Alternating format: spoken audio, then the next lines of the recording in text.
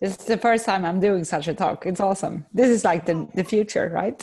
oh, really? Like through yeah. through webinar? Yeah, never done yeah. it before. Yeah, I think it's a great format actually, uh, because having people fly, fly pe flying people in is like really expensive and it's really yeah. hard the dynamics.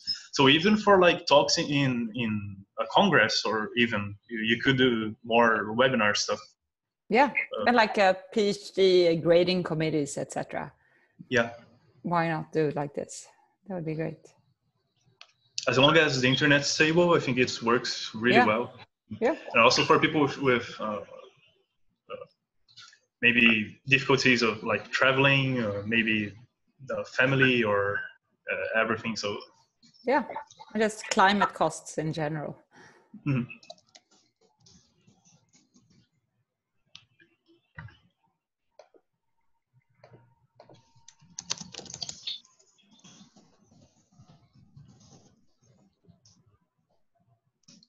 So it's weird not to stand up while giving a talk. So I'm like, how does one give? how does one talk without standing up and moving around? So let's see. Um, I, I love this uh, model or this scheme because um, a rede, rede de pesquisadores has already made uh, 18 webinars. 18? No, I don't know. 80, Pedro. 18. 80 webinars. Yeah. So, oh, wow. I don't know. Uh, I don't know if Juliana was talking to you about the format. Uh, so Rede de Pesquisadores is like a researcher web mm-hmm. uh, network for like webinars. Mm-hmm. So they invite people. I don't actually know how you you select people for for the webinars, but they have monthly like two to five people invited, and it's really cool. Okay. I've watched like a couple before, and. Awesome. Uh, so uh, uh, I think we we can uh, go ahead and get started. Okay. Yes. So uh, I'm happy to introduce Dr. Anna Dreber. Uh, she's actually a, a, professor in the Stockholm School of Economics in the Sweden, and she's been involved with most, if not all, prediction market projects related to these big replication initiatives in the social sciences and psychology. Uh, and I mean, she's recently been very interested in questions like uh, how actually can researchers uh, judge the uh, replicability and robustness of uh, scientific work. And she's actually collaborating with us for, with the Brazilian Reproducibility Initiative Prediction Market Project. So as you know, uh, we've been we've been inviting you to to do the pre-registration I'll, I'll, probably talk a little bit more in detail in, by the end of the webinar, like you know, with uh, details on the project again. Um, and I, I, I mean, I, am sure that uh, Anna has a, a, really interesting talk uh, waiting for us here. So with Let's that, I'll so. pass the word over to you. Anna. Thanks. Thanks. So thanks. That was a very informative uh, introduction. So this is perfect, and I hope many of you will be interested in participating in our prediction markets uh, eventually. Okay, so this is very exciting for me. First time I'm doing such a webinar, and I think it's a great idea. So thanks a lot for being here. Okay, so basically, this is part of the general theme, sort of which scientific results can we trust. So I'm I've been involved in various replication projects and uh, where we've added prediction markets in order to somewhat uh, assess the or try to estimate the reproducibility of science. So which results can we trust? Well, we know that this depends on a lot of things. There will always sort of be false results published in the scientific literature, not because of scientific uh, con artists faking data, but because of many other things. So, in many types of sciences and social sciences, we talk about the p value, statistical significance, we talk about statistical power, and we know that sort of given p values and power, uh, we rarely will get 100% uh, of results which are true which results we can trust will also depend on things like sorry uh, sorry to interrupt you there. Uh, just to be sure, uh, do you actually have slides to present, or yes? We, uh, Are you not seeing that? Oh, so you're not seeing uh? I think it's not uh, shared currently. There's okay, like a button. Sorry. Then I no, will. No problem. just just to let you okay. know because. Now you see them. Now, yeah, now it's working. Yeah. Okay. Oh, so now now the whole interface looks different. That makes sense. Okay. sorry. Okay. So which results can we trust? That depends on p-values, statistical power. We talk a lot about publication bias, of course, on part of journals, but also on parts of researchers putting no results in file drawers. And then there are the various researcher degrees of freedom that in the social sciences have received a lot of attention, but very recently. So even though people have been saying similar things to, say, Simmons et al., the false positive psychology paper, since the 70s at least, this has not received a lot of attention and has not been something we've been taught in statistics courses, which is uh, problematic. But now we're thinking about p hacking, the garden of forking paths, etc. So all of these phenomena will um, influence sort of which results we can trust. But then there are also these other things that have that traditionally have been a bit harder to think about. So priors, for example. So what's the probability that a hypothesis is true? Um, sort of when interpreting whether a result is statistically significant, etc., we should also incorporate the prior. But uh, at least in most types of statistics that we do in the social sciences, we've shunned away uh, from thinking about priors. Why? Because they're typically subjective, so different researchers have different priors for different hypotheses, and they're often hard to access. So even if we would all kind of agree on some prior I mean, maybe that would be the case. How would we even know because we're not assessing them um, in any way? So, so we know that all of these fa- various factors play a role uh, to determine sort of the share of results that we can trust. Um, so, what I've been interested in with lots of co-authors is basically to what extent do we know which results we'd replicate? If we find that we as research communities are good at predicting results, maybe we could add uh, prediction market prices or our various measures of peer beliefs uh, as additional reproducibility indicators along with uh, many other uh, indicators that's sort of some background so more specifically what we've been doing is um, we've been adding prediction markets to uh, some of the big replication projects so what are prediction markets you might wonder um, so these are typically interfaces uh, or trading platforms where you often trade simple binary contracts. So let's say we're back in 2008 and we have the US presidential election. So here you could buy a contract in uh, Obama that is worth $1 if he becomes president and $0 if he does not become president.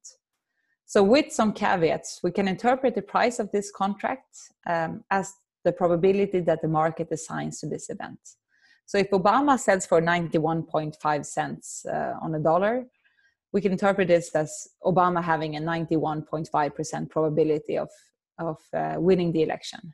So if you think that the probability is higher than this, then you should buy this contract. Uh, if you think that the probability is lower, you can either short sell this contract or buy the opponent's contract, in this case, uh, John McCain.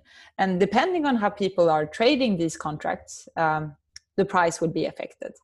So the, the key here is really that we have a very sort of clear, definable outcome. Either Obama becomes president or does not. He does not become president. Uh, if he becomes president, the contract is worth one dollar. If he does not become president, it's worth uh, zero dollars. So we interpret the price as a probability that the market assigns to Obama becoming president here. So there are lots of studies using prediction markets in various fields and comparing prediction markets with, say, election polls in predicting uh, results. And traditionally, prediction markets have performed better, in, uh, better than prediction polls. Uh, sorry, better than election polls in predicting election outcomes. And then you might wonder why would that be the case? Well, if you have an election poll, you want a large representative sample. Say you have a, a few thousand people, and you ask them what party will you vote for, or uh, in the in the upcoming election, or what uh, will you vote for Obama or McCain?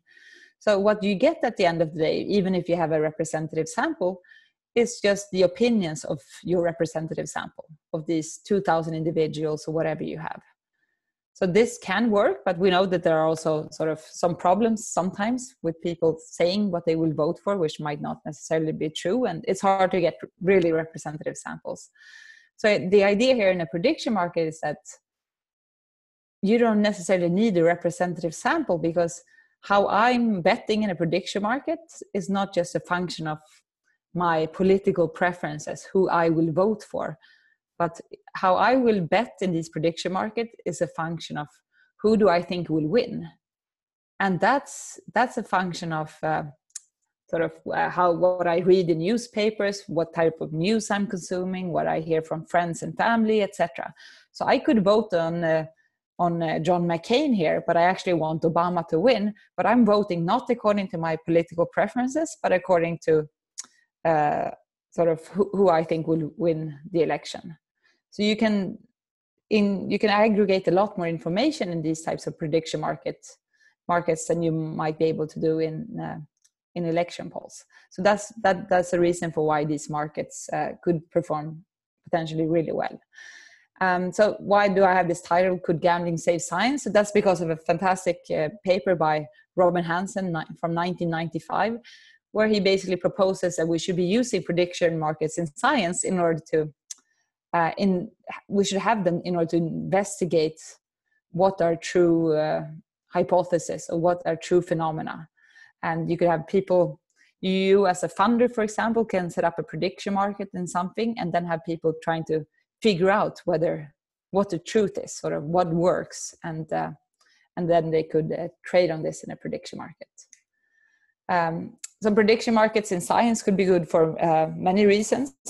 Say it could be, could be used for information dissemination too. So uh, if we have some prediction in a prediction market, um, it could be communicated to the public, and it would be a, a, then a, a sign of traders' beliefs, which could be interesting.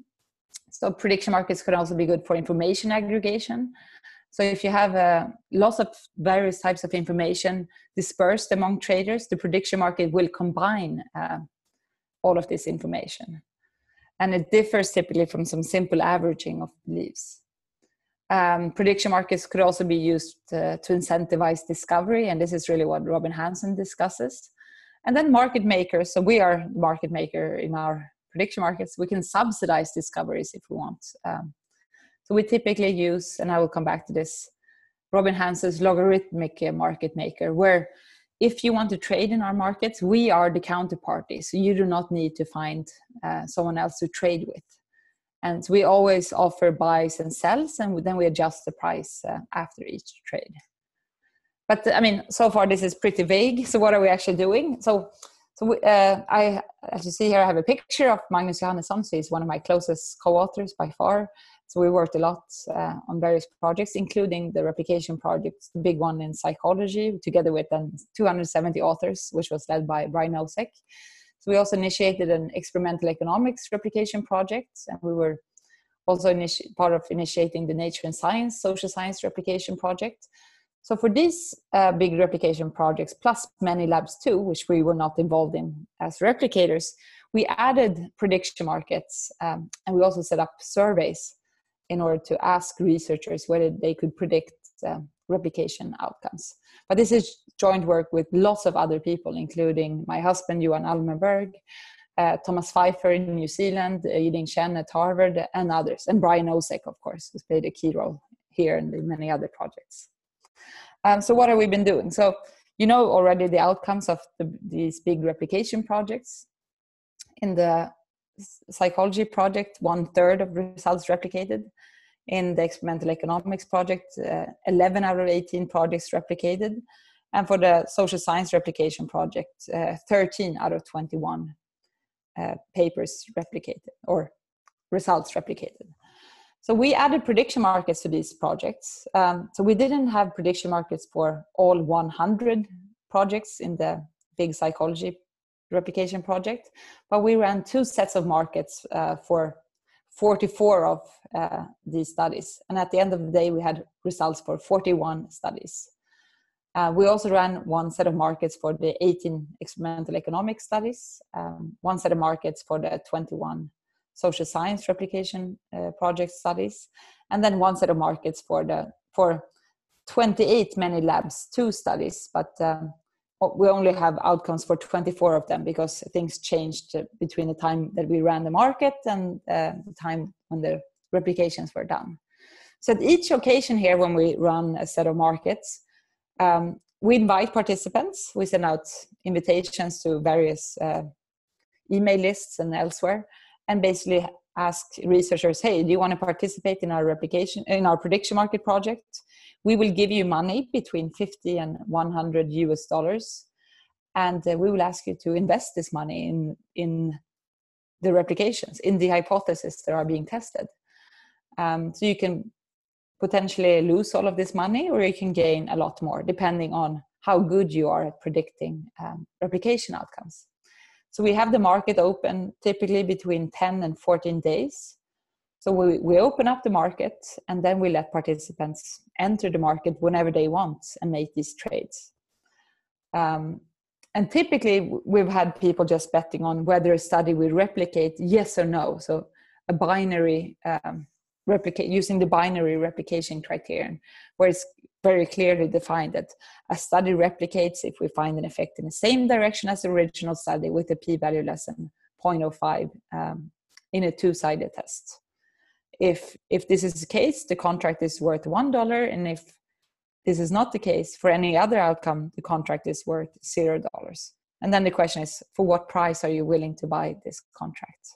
We did slightly more complicated things for the many labs two studies so we also had participants, we allowed them to bet on effect sizes, but most participants did not really want to do this.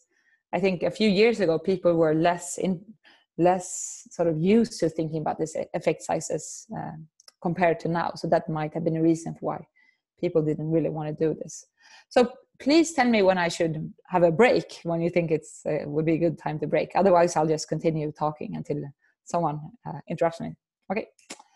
So in these prediction markets, um, so in the bigger in the replication projects, there was basically one central hypothesis that was replicated for each study. So that was, of course, what participants in these studies were betting on. And as I said before, we mainly had these binary outcomes. So participants knew what it meant that a study would replicate. And uh, participants traded contracts that were similar to what I said before. So they're worth $1 or 50 cents in some cases if the study replicates and otherwise is worth zero dollars. So we interpret the price here as the predicted probability of the outcome occurring with some caveats. I mean, there, there is some critique to this type of interpretation by Charles Manski and others, but uh, we interpret this as the predicted probability of the outcome occurring.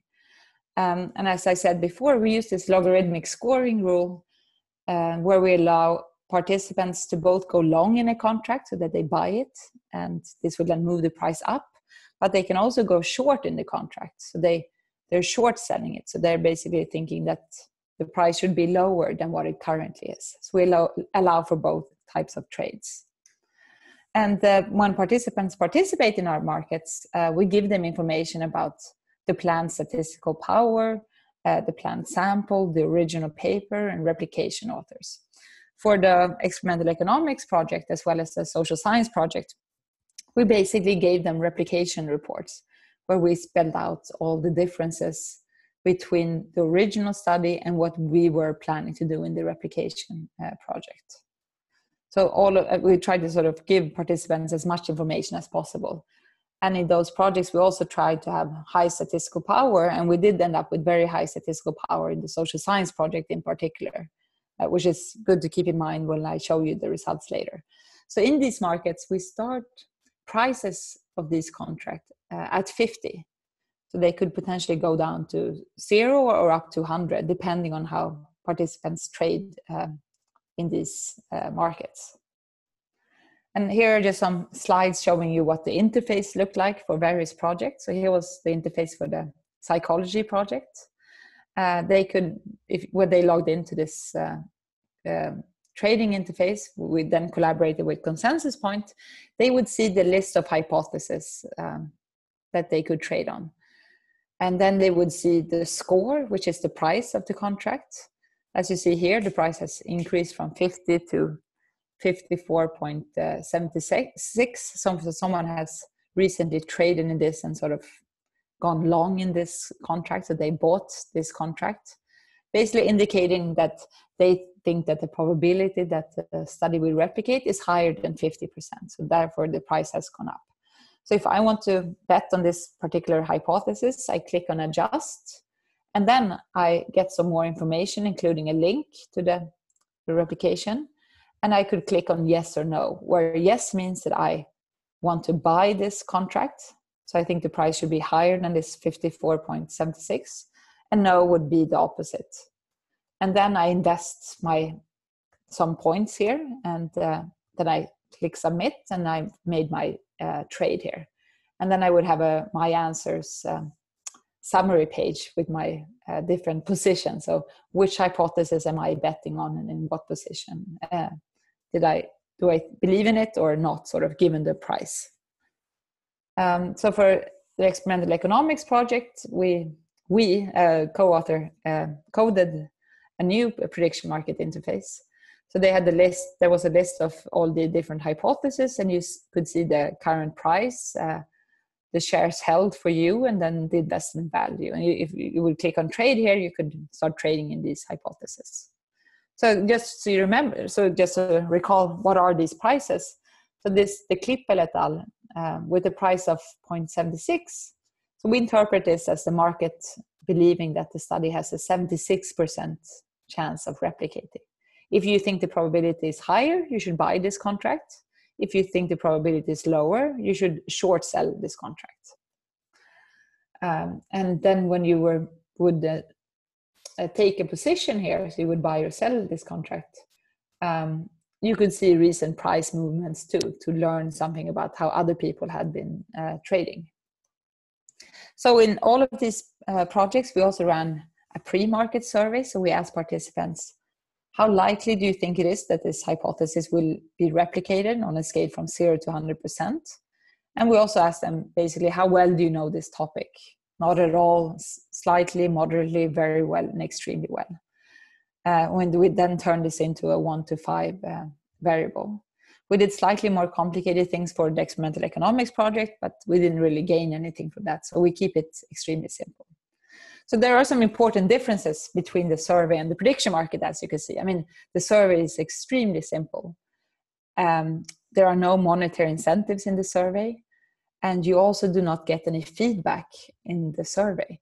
Whereas in the market, there are these monetary incentives. I mean, the contracts will be worth one dollar um, if the outcome happens, and zero dollars if it does not happen. So you have an incentive here to trade according to your beliefs, and it's uh, incentive compatible in the market you can also infer something about other people's beliefs depending on um, what trades have recently happened or what trade how what prices are basically.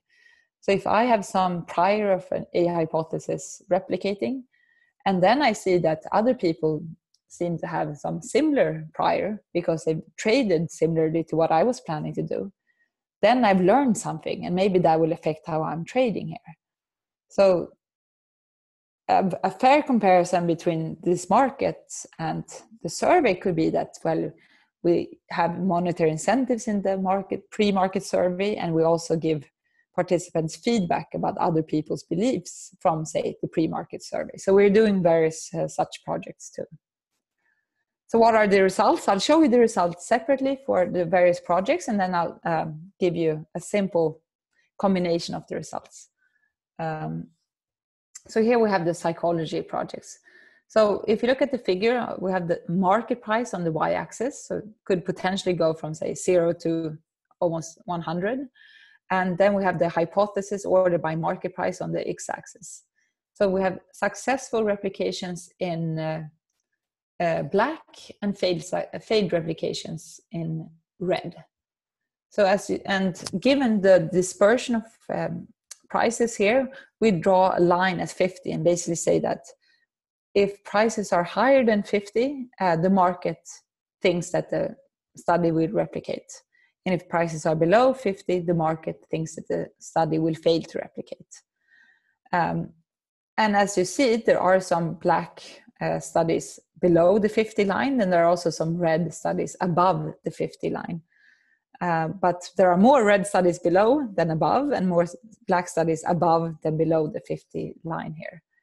Uh, so we do some simple tests, and I mean, I always talk about the importance of statistical power, and then at the end of the day, here I'm showing you 44 different studies, so uh, not that much, and with three being in gray because they're missing data. So the squares here are market prices, market predictions, and uh, the circles here are survey answers. The filled circles are just a simple survey answer, and the uh, unfilled ones are the expertise weighted surveys.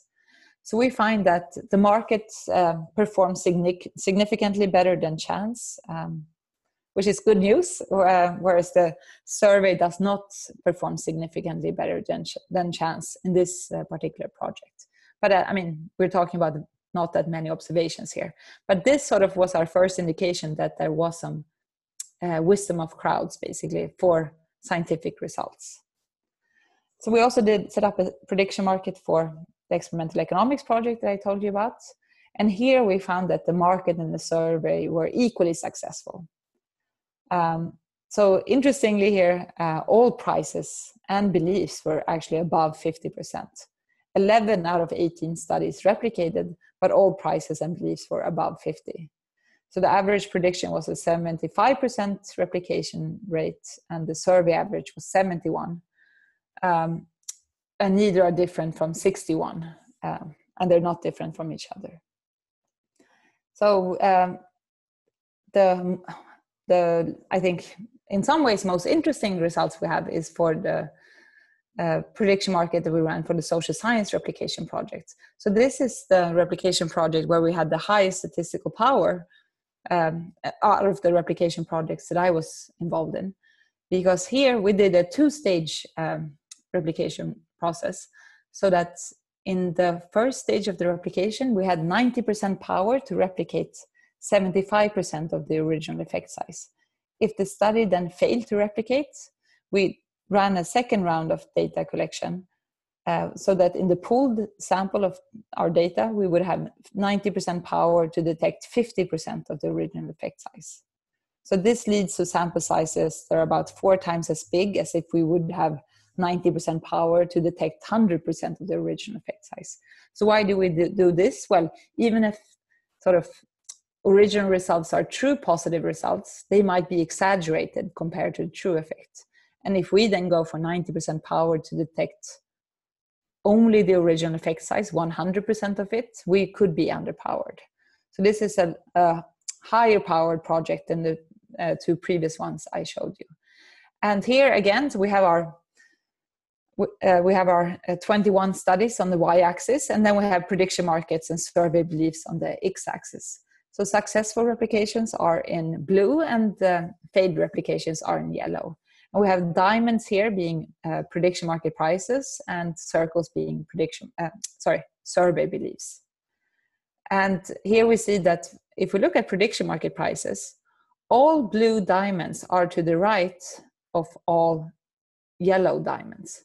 So the ranking here is perfect in the sense that the market predicted that all of the studies that did replicate, the market gave them all higher prices than the studies that failed to replicate. Um, and these are 21 studies. So again, we don't have much statistical power to compare the survey and the prediction markets, for example. But uh, if you would just look at this, the prediction predictions from the surveys uh, do not perform really uh, uh, completely as well as prediction market prices here. So as I said before, we also added prediction markets to the Many Labs 2 project. So uh, I guess most of you would know what project this is, another one of these fantastic big replication projects where several labs would replicate uh, each study. So replication power is large um, or high also here. Uh, so we um, started working with Brian Nosek and his team on this a few years ago. So we set up prediction markets for these for 28 of these many labs two uh, studies, uh, perform prediction replications in the market in uh, 2014. Sorry, and the many labs two results were recently published. Then we could also publish the prediction market uh, results. So we ran two types of markets here. So we have the binary replicate yes no. Um, and then we had people bet on the effect size. We gave them six distinct bins in which they could uh, put their money. Uh, and we had different uh, weights on these in the beginning. I hope this is clear. Is it is now a good time to take questions, you think, or should I continue? Uh, Yeah, I believe like we can ask people. Uh, I forgot in the introduction to uh, to remember them. Uh, guys, if you have any questions, you can either uh, write them in the chat throughout the the, the talk, uh, or you can raise your hand. There's a, a, button down here, and like ask the question through the camera and microphone as well. Uh, and well, feel free to to do so throughout the whole talk. Uh, I actually have a, a, a, couple of questions. Um, mm? You you mentioned that um, uh, the, I mean the the depending on the the project, the prediction markets had a, like a better uh, performance than the survey of beliefs, and there but there are some differences that uh, you talked about, like for example the monetary compensation and also the aggregate information from you know people knowing what other people what other other people bet on. Uh, yes. Do you think? What do you think is the main factor here? I mean, uh, uh, it's you think it's more important to know what other people think about a certain experiment, or is like the engagement that they're like trying to bet on something and they might get rewarded, and the mindset of I am not sure. Yeah, so so good questions. I don't really know. so now I'm speculating. So we have we've done some studies uh, on this. I mean, the prediction market is more engaging than the than the pre-market survey. In the beginning, we had sort of had the pre-market survey in order to get at something and then make people enter the prediction market. So I think we we we set it up almost in a way that didn't really make the best out of the survey. Um, so I think the monetary incentives matter, but I also think that it's sort of well, I'm guessing here. So I would think that it's fun to participate in the prediction market and trade and see sort of yes how are people performing and i think the monetary incentives matter but they're not that important it's more a matter of like it's fun to be able to like yes i performed well i was good at predicting studies uh, especially if you know other people who are trading so oh. there are these i mean fantastic projects by phil tetlock with co-authors uh, where they come they i mean so for the good judgment project and super forecasting, etc., where they compare prediction markets with um, um, surveys using the Delphi method, where you give people feedback, etc. And the prediction market does not always perform better. So the survey can outperform. A survey can definitely outperform uh, prediction markets. So in our mm-hmm. projects, they haven't really done it, uh, but I think we could design better surveys. But this is sort of, I think we're learning while, while doing. But the prediction mm-hmm. markets, um, I would guess that they're they're fun to participate in. I hope so. I think that's why people do participate. So we do get a lot of participants. If I go no, now I can go back slides. Maybe I can. Yes. So like uh, we had a few for our various prediction markets. I mean, between about 50 and 200, depending on the project, from like oh. just emailing on. Uh, like uh, the open science collaborations open science frameworks email list saying hey do you want to participate in prediction markets please email us and we'll give you an account basically so i think this is fun i don't know if people would have answered the survey though if we wouldn't have had the prediction market okay so, yeah, that, so that's that actually something that we're opening up right? Sorry? Uh, because that that was actually my second question is uh, for the the our the Brazilian initiative we were we were considering opening just the survey and not necessarily going into the prediction market afterwards. And the idea is uh, maybe it's a little bit less time consuming because you don't have to be, be no, and but uh, and one thing is uh, maybe some people are a little bit uh, intimidated by the idea of betting on a stock market because uh, I don't know. Uh, I would guess that the average person doesn't have a lot of contact with like financial markets and how it works in the interface. yeah. That, that's actually but a question. Uh, uh, do you provide any guidance, like a, a, manual how to do this for participants? Yes. So we write. We have a like a uh, we have some introductory page, uh, in, like two pages describing how to bet in these markets. So, I mean, I am an economist, but I know very little about financial markets. So, I don't, I've never bought a stock in my life. So, I wouldn't know how to go into like a stock uh, market page sort of and buy things there. So, you don't need a lot of information in order to participate in these markets, which is a good. So that's that shouldn't scare away people from trading. So we we basically we basically describe what I've said, but in a more pedagogical way than what I've uh, what I said a few minutes ago, describing sort of how you buy and sell this contract. What does it mean to buy and sell a contract in the sense that what should this indicate about your beliefs given the price, etc. And uh, it should be extremely simple. I mean, look look at these uh, trading interfaces again at these slides. So you have the hypothesis. You've already answered the survey where you say the probability that you assign the study replicating. And if I think if I in the survey answered that yes, this is hypothesis 19 volatile, I think it had a 90% probability of replicating. All market prices here start out at 50. And I saw that well, someone else seems to think that the price is should be a little bit should be above 50. I thought the, the probability should be 90. I'm gonna click adjust here and invest, click then yes, and then invest half of my points or something here because I really believe in this hypothesis. So it's it's fairly simple, I think. Mm-hmm. We typically, I mean, most people who are participating here have not been economists. I mean, for the psychology project, for example, they were psychologists and they, I think, performed really well and didn't have that many questions because it was pretty straightforward. So I think that's uh, yeah if if one is interested in this one shouldn't be afraid of the interface. This will be uh, simple and hopefully self-explained.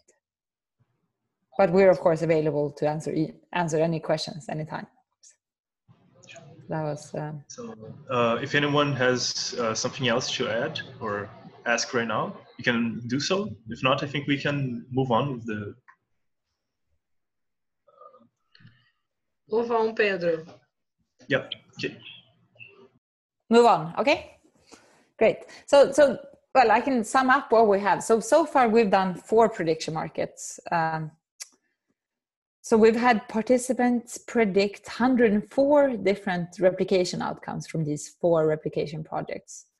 So if we say that yes, a price above 50 indicates that the indicates that participants think that the, the study will replicate. Then prediction our prediction markets have a 73% correct prediction rate. So that's pretty good. I mean it's better than randomness which would be 50% but we're not close to 100% um, so but there is some wisdom of crowds at least. And so when we look at the pooled survey data instead so here we have 103 observations because for the psychology replication project one replication changed from the time that we ran the survey to the time that we um, implemented the prediction market. So we have one missing observation. Here we find that the survey correctly predicts uh, 66%, so 68 out of 103 replication outcomes. So that's also pretty good, you know. So it's is 73 different from 66? I don't know.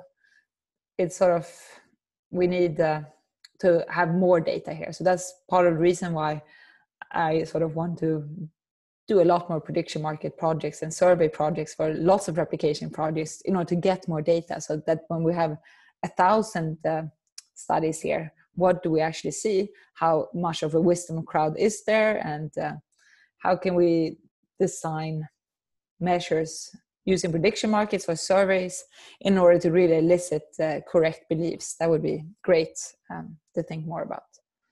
But this is very preliminary analysis that we report in one of our papers and now we're working further on um, doing more elaborate analysis of this data. So something else we're uh, using prediction market prices for is to think about what's the what's the probability that the hypothesis is true at different stages of the testing process.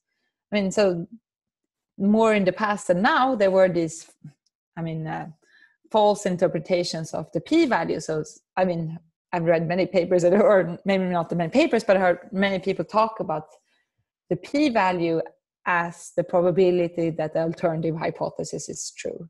So this is obviously false, but um, many people tend to have that interpretation and why? Because what we're really interested in i guess is sort of what is the probability that the alternative hypothesis is true. And this is not something that the p-value gives us but something that we're clearly interested in. So this is what uh, ioannidis and others button et al etc call the ppv so the positive predictive value the probability that the hypothesis is true. So with the prediction market price um, we get the probability that the market uh, assigns to the study replicating. That's not the same thing as the probability that the study is true, uh, that the hypothesis is true, uh, but using uh, alpha and beta from uh, the replication, we can think about what is this uh, P1 here, the probability that the hypothesis is true after the initial study, but before the replication outcome then with some uh, some statistics from the initial study we can think about this p0 sort of the initial prior. What's the probability that the hypothesis is true before it's tested in the original study and thus also before we have the replication outcome? And then once we have the replication outcome we can get this p2 so the posterior or the uh, yeah prior to whatever we call it. So the probability that the hypothesis is true after the initial study and after the replication outcome is known. And then we can start thinking about okay, yeah, what is this probability that the hypothesis is true at different stages of uh, the testing process? So we do this exercise for uh, the psychology project, the, the subset of RPP studies, and I think one should take the numbers here with some grain of salt um, because we had lower statistical power in the replications than we hoped for in the whole big R, uh, psychology project. But the, I mean, I think this is indicative of something. So if you look at the if you look at this uh, figure, so we have probability on the y-axis, and then we have this p0, p1, and p2. Uh, so the thick lines are the median probabilities. So then we can see, okay, what type of hypotheses are being tested in these uh, original studies. So the median probability here, the initial priors are low, um, not even 10 about um, the median is not even 10%. Then once these uh, uh, the, the results of these hypotheses have been published in these top psychology journals with a p-value less than 0.05 result, the median probability is not that much higher than a coin flip. So the probability that the hypothesis is true, this p1, after the original study is um, the median here is uh, 56%. Then once the outcome of a successful replication is known, this median probability jumps up and is very close to one. Whereas for failed replications, this median probability uh, becomes very low again. And I think th- here is one reason maybe to take these uh, numbers with a grain of salt. I think this median probability goes too close to one in order for it to be completely um, accurate, but it's indicative of something that we learn a lot from these replications in terms of shifting uh, this median probability that the hypothesis is true. So I also think we learn something then more like philosophy of science-ish about um, the dynamics of hypothesis testing, sort of. Um, so what have we learned from this? Uh, well, as I said before, a common but false interpretation of uh, p-value less than 0.05 is that you have a 95% probability that the hypothesis is true. That's false, and for this to actually be the case, uh, p less than 0.05 finding needs to be so supported in a high-powered replications. And then we can ask these questions that I'm sure most of you have been thinking about. I mean, that's why you're involved in these replication projects. Sort of, are the incentives for replications appropriate? Um, we also see that there is something systematic about results that replicate and results that do not replicate and the market can sort of pick up something about this not perfectly but there is some wisdom of crowds and something systematic about successful replications so successful results sort of uh, results that are likely to be true positives but the weird thing then i mean i'm thinking at least is that if there is some wisdom of crowds so if we are pretty good at figuring out which results will um, replicate and which will not why are we publishing all these false positive results in the first place if we're so good at picking out which these are? But i mean just because we're good at it this in the prediction market doesn't mean that the same people who are good in the market are necessarily being reviewers in all of these journals etc so there are many more questions to to be answered from these projects i think so we're involved in many other projects in particular we're working a lot with eric uhlmann and co-authors so Eric uh, has a ton of fantastic uh, replication projects and, uh, with direct and conceptual replications where we're adding not necessarily prediction markets, but different types of survey questions. There are incentivized versus not incentivized, with or without feedback, etc. So we're trying to set up basically forecasting surveys and have people predict uh, the outcomes of these replication projects. And then we have this fantastic um, Brazilian reproducibility initiative that I think is completely awesome and fantastic what you guys are doing. So I'm very happy that we can add a prediction market to this and a survey. Uh, we're also working with DARPA predict, on predicting um, uh, replication outcomes, uh, etc. So we have many uh, different uh, replication projects going on right now. One in neuroscience too that we just had the results from. Um, so, what are some other thoughts? Prediction markets are not a solution to anything, but they're giving us some more information, I think, about studies. So in general, I'm of course a big fan of pre-analysis plans. I think they will help us a lot. Um, maybe we should obsess less with p-values too. Uh, I'm one of the maybe few uh, people who think that this p less than 0.005 um, threshold is a good idea. So I'm one of many authors on this Benjamin et al. redefine statistical significance paper. But we should also sort of go for higher statistical power, do team science to a larger extent. And I think this is very much in line with uh, what you are doing. Uh, so another project that we're currently working on, and hopefully we will invite participants to this market uh, soon, is a, a project which is not just a normal prediction market, but it's it's a decision market. So I mean, if we take a journal like PNAS, the Proceedings of the National Academy of Sciences, are, they publish a lot of papers in the social sciences.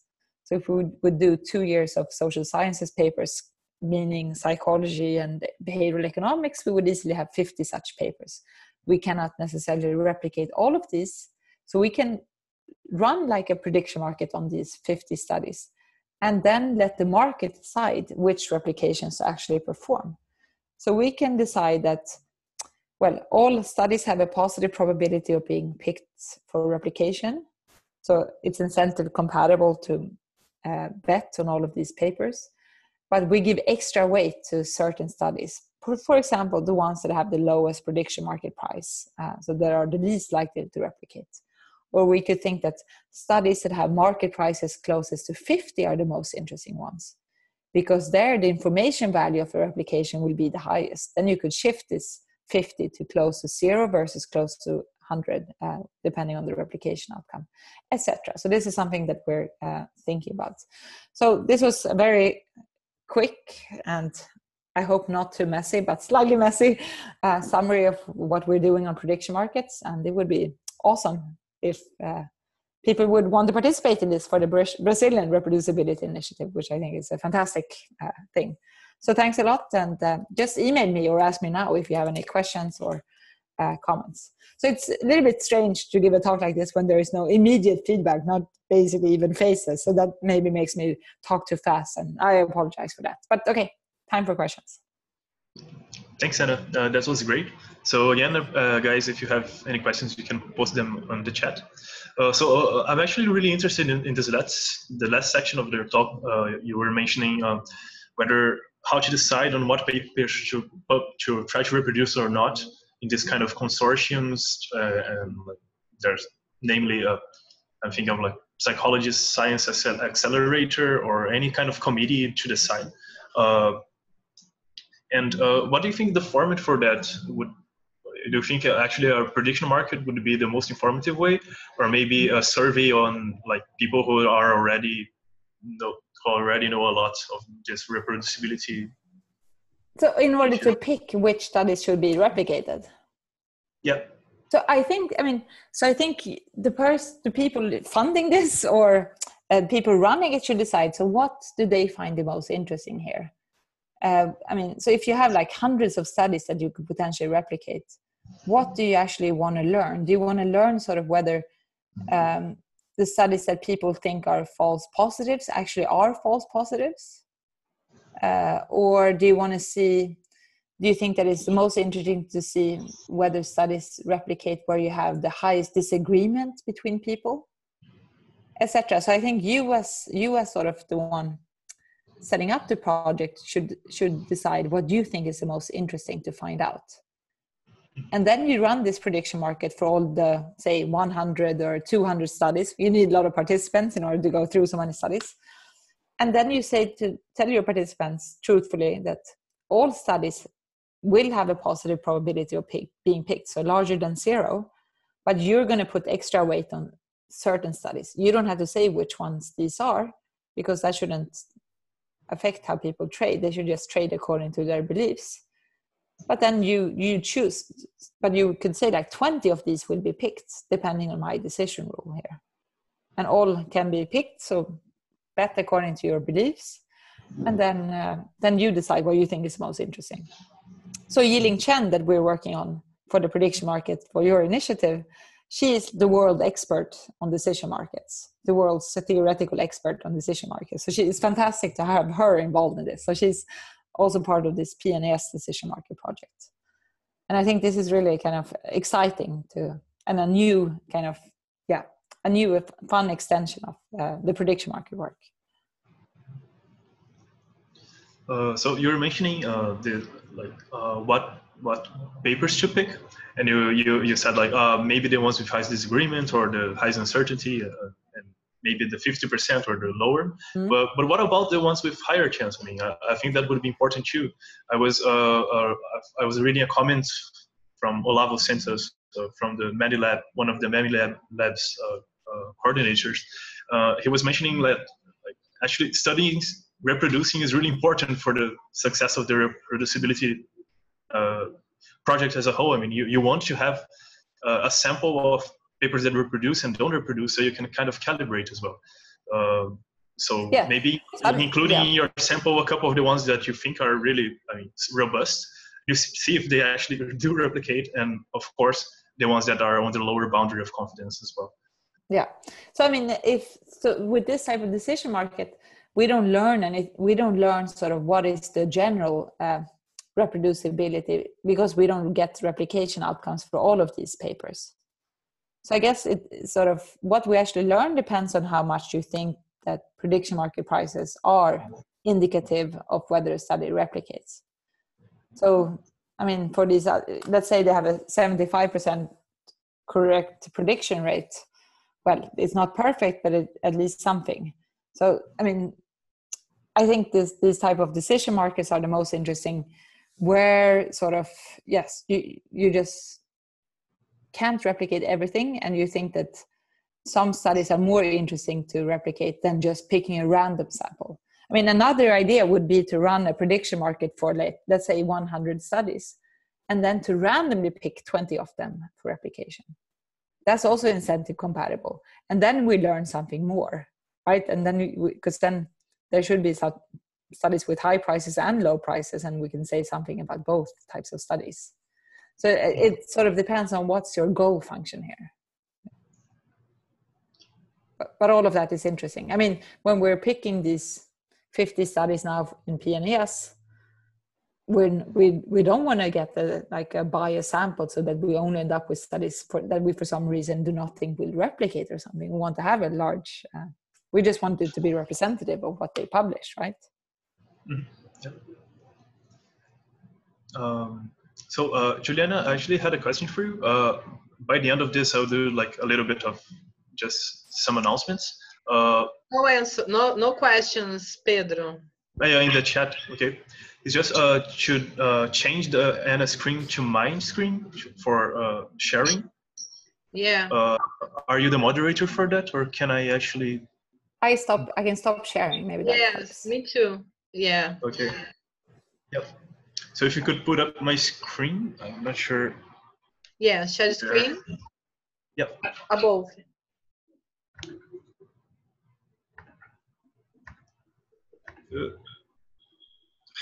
Sorry. É, não, ainda não achei, na verdade. Achou? Lá embaixo tem share, é uma pastinha verde. Aí tem uma setinha. Ah, tá, tá, tá, tá. E aí você coloca screen. Yeah, uh, I think it worked. Yeah. Uh, so, hey guys, uh, just a couple of announcements here. Uh, I'd like to thanks thank Anna Dreber a lot for the you know the, for being available and doing this Thanks. really nice talk to us. And uh, this has been recorded, so we'll be posting that on our YouTube channel, and it's also live on Facebook for people to check out afterwards as well. And uh, just so, I mean, for inviting people over, uh, the pre-inscriptions for our uh, prediction market for the Brazilian reprodu reproducibility initiative are already open. Uh, after we get approval from the, the Harvard Ethics Committee, we'll uh, properly uh, do the the term of consent and everything for participants, but and uh, also Mayo give Mayo other institutions. But uh, you can already go to this form, and uh, many people from the same lab can actually participate. So the idea we you have as many predictions as possible, individual predictions. And uh, so it's through this link, we've sent them through email uh, to you as well. You can uh, feel free to share with other people. And uh, also, uh, just reminding, we're now in the last week of inscriptions for this No Budget Science Hack Week. Uh, with, I think we've already sent a free email as well to you the idea is uh, doing meta, meta science uh, projects during a, an intensive one week extended hackathon format. And uh, it goes until the 9th of June. We're thinking about uh, prolonging a little bit the inscriptions, but uh, if, if you haven't checked it out, please do so. It will be a really nice event. It's unrelated to the initiative, but we're organizing here. Uh, and it, it, it looks really awesome so far. And yeah, the, the other webinars are already available in our YouTube channel, so you can go check them out. And I think that's it. Uh, I really, if you have any questions, I can quickly chat, check the chat right now. But if not, uh, that thank you, Anna, for being available. Thanks. Here. Thanks so much. And I think we can, kind of go back to Zoom here.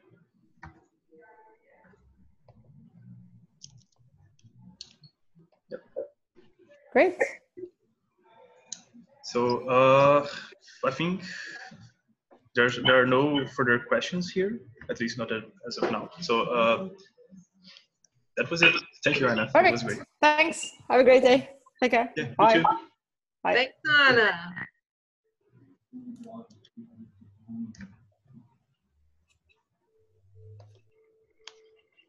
Sure.